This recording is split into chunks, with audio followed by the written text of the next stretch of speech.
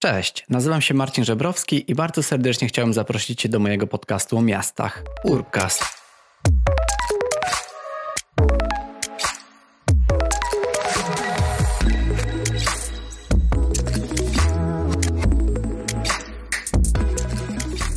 Cześć, witajcie w Smalltalku. Smalltalk to krótka forma, w której będę opowiadał lub komentował jedno wydarzenie i będę starał się być bardzo zwięzły i nie przeciągać.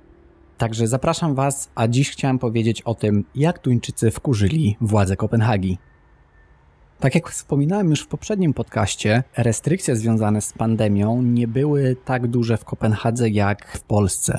Myślę, że od początku marca osoby z maseczkami na twarzy, które widziałem, mógłbym zliczyć na palcach jednej ręki. I nie wiem, z czego tak naprawdę się to wywodzi, ale jest to ciekawe o tyle, że z jednej strony Dania zamknęła publiczne instytucje, a także swoje granice w czasie porównywalnym z Polską. Jednak to, co z zewnątrz wydawało się bardzo restrykcyjne, to w samych miastach, a szczególnie w Kopenhadze, co było mi dane obserwować, wyglądało już dużo bardziej elastycznie, czyli owszem, był zakaz zgromadzeń, nie można było się gromadzić powyżej 10 osób, trzeba było też zachować pewną odległość, ale nie było zabronione to, aby wychodzić do parków, do lasów czy ogólnie na miasto. Widać było to, że osoby są trochę bardziej ostrożne. Na przykład w sklepie kolejki wyglądały tak, że były naklejone czerwone pasy na podłodze, które ograniczały zbliżanie się i wyznaczały to, w jakiej odległości trzeba w tej kolejce stać, więc kolejki były prawie na całe sklepy, bo między osobami w kolejce musiało być metr do dwóch odległości, ale ogólnie nie było aż tak dużych restrykcji.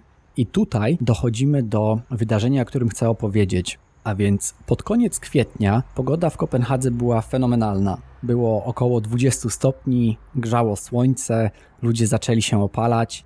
No ale w międzyczasie wciąż e, pandemia się utrzymywała. Wydaje mi się, że pod koniec kwietnia w Polsce cały czas trzeba było być w domu, nie można było wychodzić do parków czy do lasów. No to tutaj w Kopenhadze bardzo mnie to zaskoczyło, że kiedy zrobiło się tak ciepło, ludzie wylegli na ulicę i zaczęli okupywać trawniki, pić piwo, siedzieć. No, widocznie byli bardzo stęsknieni za sobą, za przyrodą i za spędzaniem czasu ze znajomymi. Jednak wydarzyło się coś, co ludzi, a szczególnie władze Kopenhagi, bardzo zirytowało, a więc ludzie siedzieli na tych trawnikach, a przede wszystkim na takim dużym, dużym kawałku trawnika części parku na Islandsbrygge, czyli jednej z centralnych dzielnic Kopenhagi siedziało tam naprawdę tysiące ludzi w małych grupkach, ale no siedzieli obok siebie, tak? Setki ludzi grupowało się niedaleko siebie, tańczyli do muzyki, pili piwo i po prostu wszystko wyglądało tak, jak gdyby nigdy nic, jak gdyby nigdy nie, nie było żadnej pandemii i nic strasznego się nie stało. No a w tym samym czasie granice były cały czas zamknięte, cały czas ludzie albo nie chodzili do pracy, i pracowali z domu, albo chodzili w, w mniejszej liczbie, czyli były jakieś ograniczone zmiany, kiedy część pracowników tylko szła do pracy.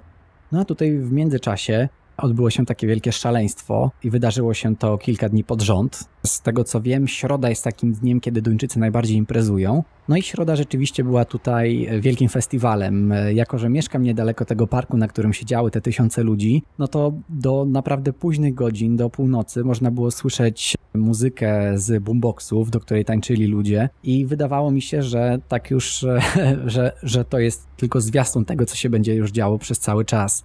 Co się okazało, był to o krok za dużo. Widziałem na grupie mieszkańców Islandsbrygge, że bardzo wiele osób narzekało na to, nie tylko na hałas, ale na to, że nagle tysiące ludzi zgromadziło się tutaj na trawniku i piło piwo i, i po prostu spędzało z sobą czas. I nie spodobało się to też władzom miasta, które zdecydowały się na rzecz wydaje mi się, że bezprecedensową na przestrzeni przynajmniej kilku ostatnich lat, a więc na zamknięcie miejsca publicznego, a więc na zamknięcie właśnie tego parku wzdłuż promenady na Islandsbrygge i przez kolejne dni do początku maja, od końca kwietnia, park był otoczony taśmą, a także non-stop stacjonowali tam policjanci, którzy zabraniali siadania na trawniku.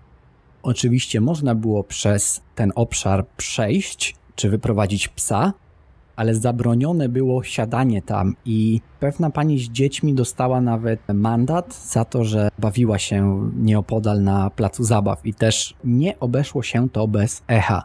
Także z jednej strony było dość duże rozprężenie, a z drugiej strony tuż po kilku dniach była całkowita restrykcja. Pisano o tym w gazetach, że policjanci nie pozwalają korzystać z trawnika, nie można tam usiąść, ale uważam, że było to skuteczne, czyli ludzie tam po prostu nie przebywali a w międzyczasie pogoda się trochę pogorszyła, więc po zabawie i, i, wielkiej imprezie, która się wydarzyła, nie było już praktycznie śladu i nie ma praktycznie do tej pory, do momentu, kiedy słuchacie tego podcastu, bo pogoda się pogorszyła, a ludzie najwidoczniej po prostu trochę się wystraszyli tej całej sytuacji.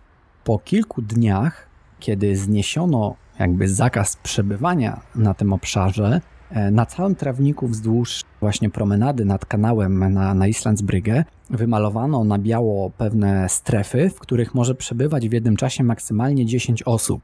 Także to jest taka odpowiedź na to, jak ludzie powinni korzystać z tego parku na nowych zasadach. Czyli nie ma już grupowania się tak, jak się chce, tylko docelowo 10 osób powinno siedzieć na, na takim jednym kawałku wyznaczonego miejsca na trawie.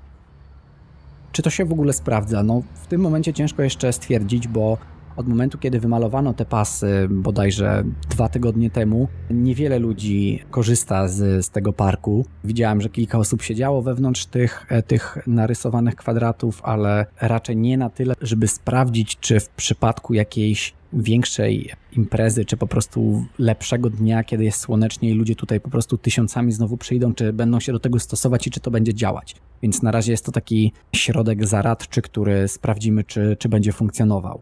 Więc tak wyglądał sposób, w który Duńczycy i, i, i, mieszkańcy Kopenhagi bardzo zdenerwowali władze miasta, które zdecydowały się na całkowicie zamknięcie obszaru parku w Kopenhadze z pomocą policji. Wywołało to bardzo, bardzo, bardzo, bardzo duże poruszenie i komentarze zarówno za, jak i przeciw.